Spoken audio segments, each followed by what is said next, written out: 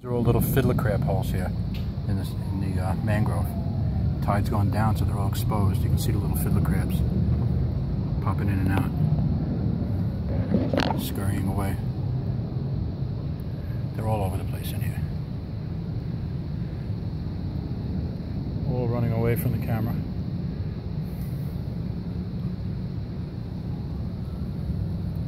let's see who else we can find today.